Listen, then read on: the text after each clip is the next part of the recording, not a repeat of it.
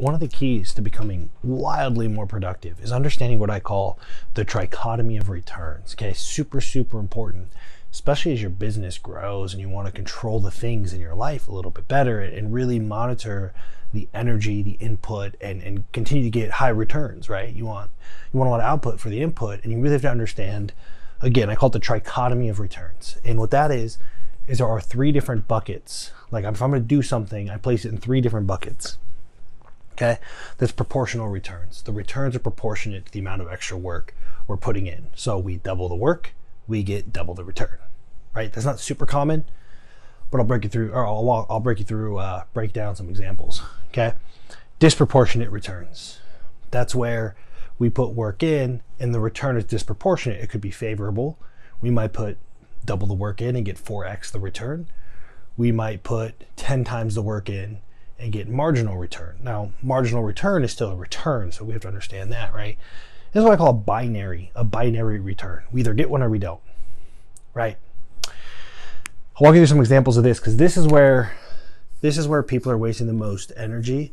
And when you get that time and energy back, again, you can be more productive, more profitable, less headache, more bandwidth, stuff like that. Okay, so proportional returns, not super common at scale. Uh, a good example would be uh, if you're an hourly employee. If you make $10 an hour and you work 20 hours and you double your time, right, you make double the money. Now, if you get into overtime, you might have disproportionate returns. You actually get paid over and above the time you're putting in, right, compared to the baseline.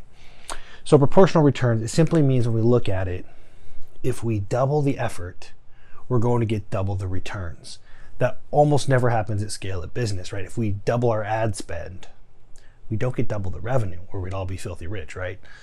Um, you know, even if we're out picking apples and we spend two hours, we get all the low hanging apples first. And then as time goes on, they get harder to reach, harder to find. If we double the amount of time we spend, we probably don't get double the apples. It's disproportionate returns. Okay, so it's really important to identify that's not going to happen often.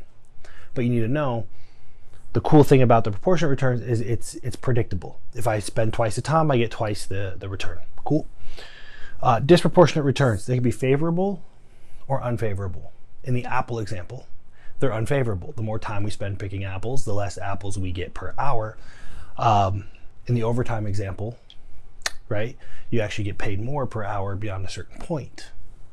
Another good example of, of uh, returns that are disproportionate would be uh, traffic in New York. Okay, like super busy.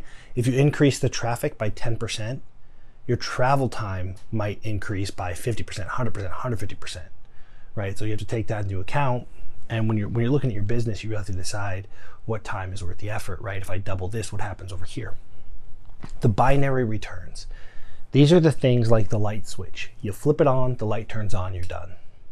Right? If you sit there and you push the light switch harder and harder and harder, it doesn't make more light, right? And a lot of us spend a lot of time with these things because we don't understand it's binary. It's yes or no, right? On, off, one, zero, whatever.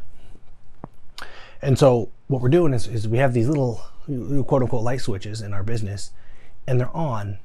And we're still pushing harder and harder and harder and harder trying to get more, but it doesn't exist. The returns are not diminished, they're not proportional, they just don't exist. That is the place where we have the most room to save time and energy and money, right? So it's really, really important. And the whole point is so when you go into something, and say, okay, look, um, I'm going to spend twice as much time calling prospects. I'm going to spend twice as much time doing this. I'm going to spend twice as much money doing this. You have to identify are the returns, is this something that's going to have proportional returns, which means it's predictable. It's pretty much we spend more, we make more across the board, right? Is it disproportionate? And if it is, is it favorable or is it unfavorable? Right? We need to know. Re- diminished returns are still returns.